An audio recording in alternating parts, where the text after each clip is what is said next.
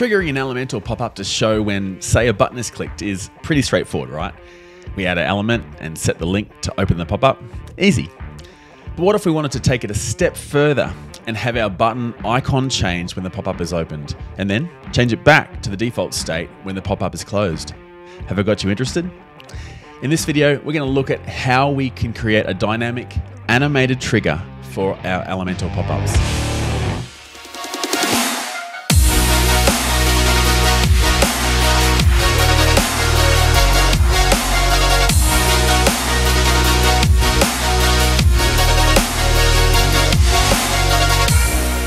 Hey, I'm Ryan from Hello Hudson. Thank you so much for joining me. It has been such a long time since I've put together one of these tutorials, and I'm so sorry.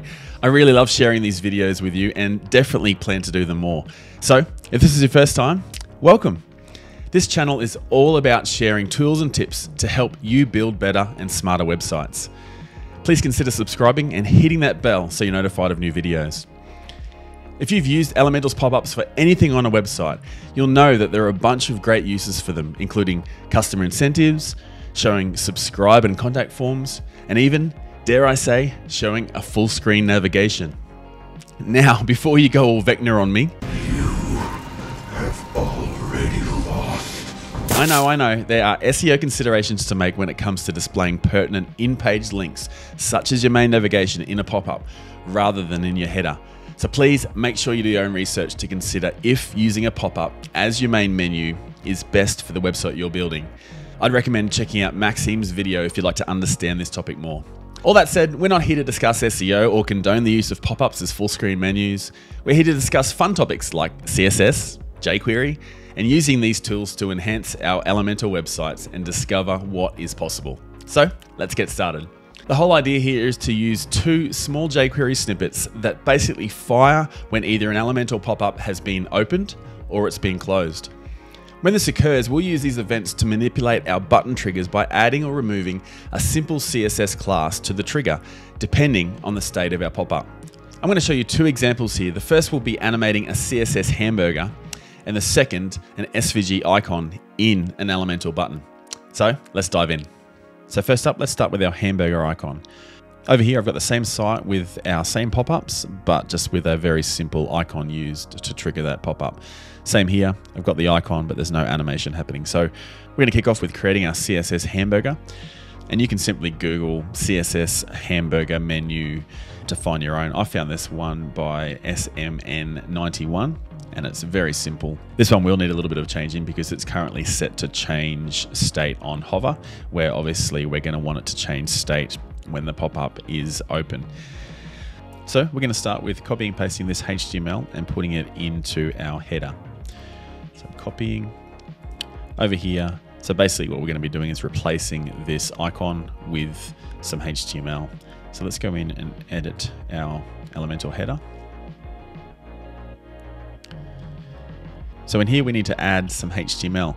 Now we could do this by using an HTML widget, but this isn't how I'm going to do it. The reason for that is it's a little bit hacky, but when we add HTML to our page, we can't actually add an Elementor pop-up as the link. So my way around this is by simply using an Elementor header and adding our HTML in there. So if we paste that in there, as we can see here, we have our link. So we can begin by adding our pop-up as the link. And what we want to do is make sure we set the action to toggle pop-up so that it can close and open. We will set our menu. Okay, so now obviously we're not seeing anything here, but what we can do is we can come and delete our icon here and we want to set this to inline and then we're going to be controlling how it looks using some CSS. So let's update our page. Go back and refresh the home page and obviously there's nothing here currently to see, but that's soon going to be fixed by adding some CSS. So for my CSS, I love using CSS Hero. It's a great tool to use. If you want to know more, check out the affiliate link in the comments. And if you purchase, thank you in advance because that's going to help me out a little bit. So in CSS Hero, this is where we're going to start to add the style of our hamburger icon. Let's go back and copy some of the CSS from our CodePen here. After I add this in, I'm going to be adding a few tweaks to this, but you'll see how it comes together. Okay, let's paste in our CSS here and see what happens. So a couple of things, we want to get rid of this margin. I'm going to simplify our units by just using pixels.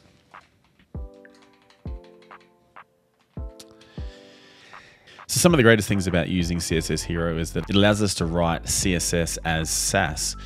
So some of these features include using variables. So for my transitions, I've created a timing variable and a duration variable. This allows me to use these variables throughout my code and make a global change if ever need be. So let's come down here and add our transition. We're going to use our duration, set it to all, and we're going to add in here our timing variable. Another nice feature of Sass is that it allows us to nest our classes within classes. So this just keeps things a whole lot neater and tidier.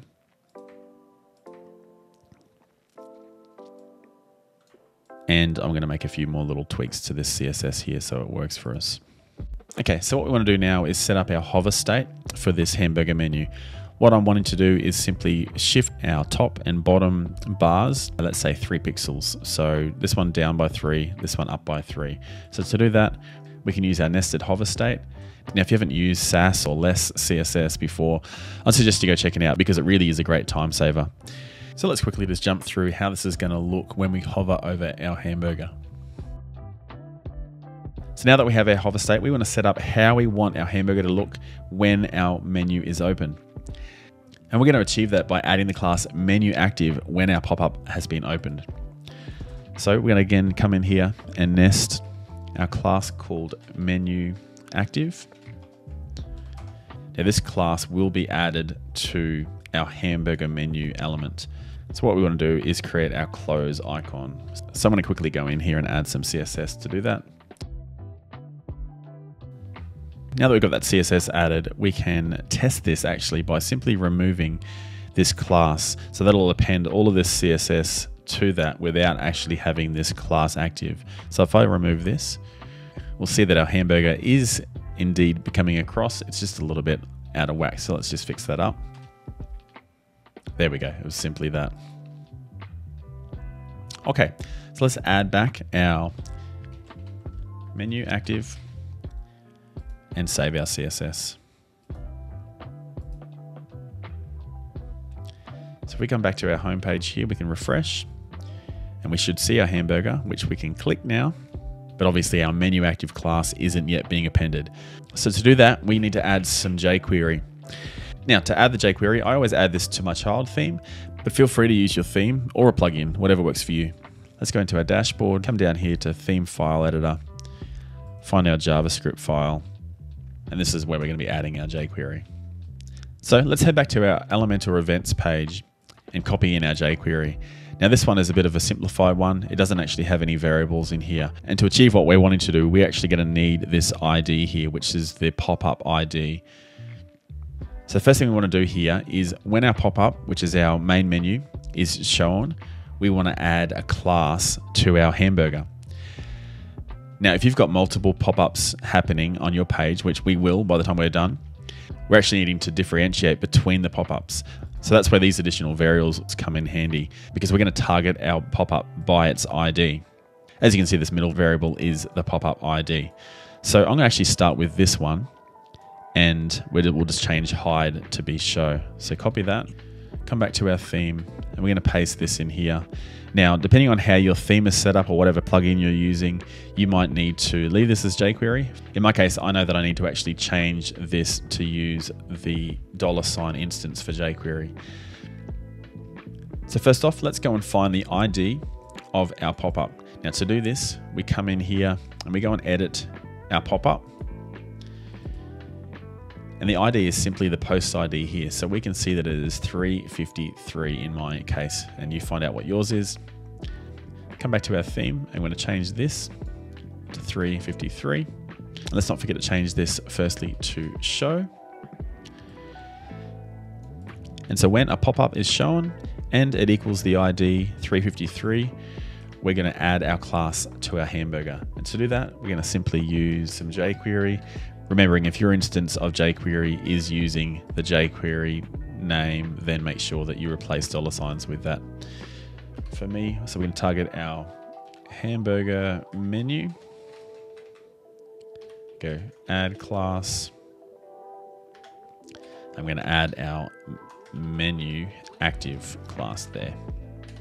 Secondly, when our pop-up is hidden, we want to, again, target the same ID, but remove the class. So let's go and copy this. On hide and change this to remove class. Update your JavaScript file, head back to your home page and refresh. And our class is being added. So we've got our close icon, which we can click and close. Now the beauty of this approach is because our script knows whether the pop-up is open or closed, even if we don't close our pop-up using our trigger and we click somewhere else that might be set to, to close our pop-up, it still will remove our class from our hamburger. So it's always going to stay in sync with what's happening with that pop-up. Okay, so for our second example, let's look at doing a similar thing, but with a customized SVG icon. To achieve this, we're going to start by grabbing our icon and dropping it into Figma so we can add a few layers that allow us to change how our icon looks when our pop-up is opened and our class is added. So let's head over to Figma, drop in our icon, And all I'm going to do is create our own close symbol so that we can display that when the pop-up is open and then have our default state show as it is. First off, I'm going to put all these layers that are currently there in its own group and give it the ID chat. And I'm going to simply resize this whole thing so that when we add in our stroke, it's going to be proportionate in size. So from here, let's speed through and add our lines to make a close symbol. This isn't a Figma lesson, so let's jump through to the fun stuff.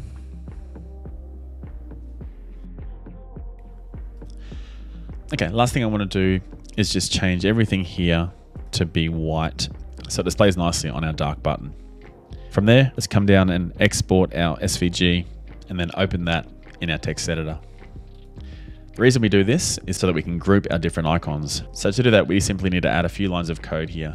So G for group, and then we're gonna add in an ID equals chat. So I know from the layers that we had in Figma that all of these paths here are to do with our chat icon. So I'm gonna come in here and close my group. And then at the two lines that we've added here our close icon.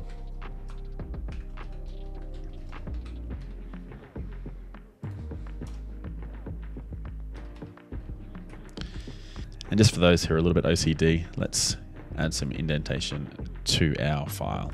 So now we can save that and we can go and replace the icon we have in our button.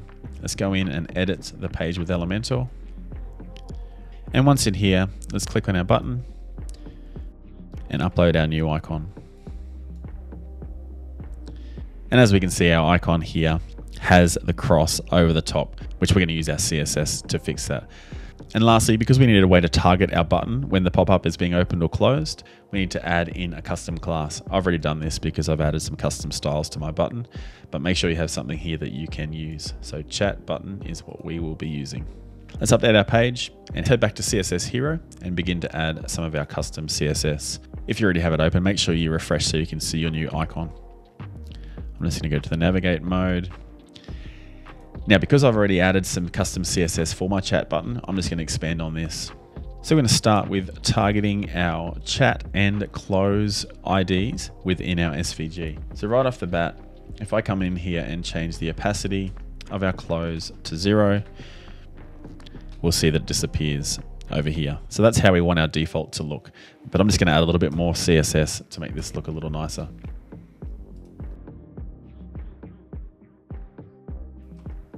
So the class we're going to be appending to our chat button when our pop-up is active is called contact pop-up active and quickly add in the relevant CSS.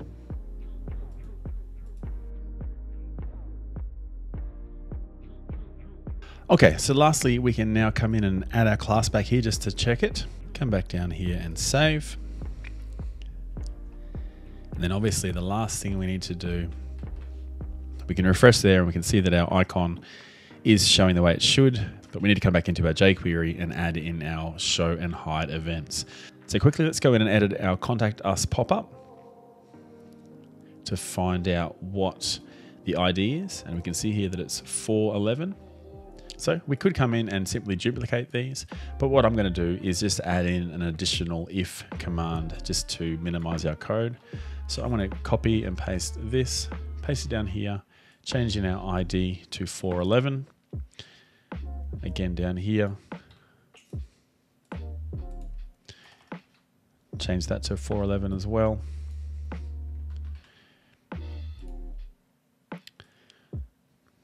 So we're going to change this to chat button. And the class we're adding is contact pop-up active.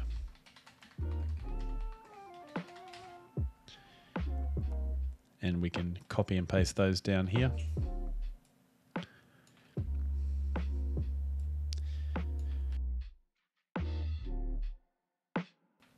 And let's update. Refresh our page give it a go. How good does that look? I'd love to hear your thoughts about how you might make use of this little snippet. Let your creativity run wild. So leave a comment, and if you haven't already, please consider subscribing. Thanks again for joining me, and I'll see you in the next video.